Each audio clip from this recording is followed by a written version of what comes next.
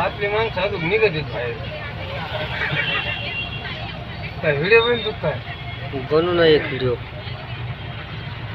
खाली लक्ष दे मोटरसायकल की त्याच्याकडे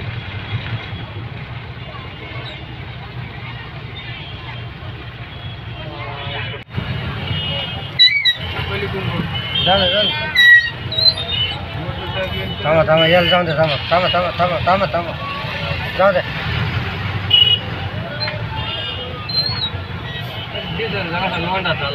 हम्म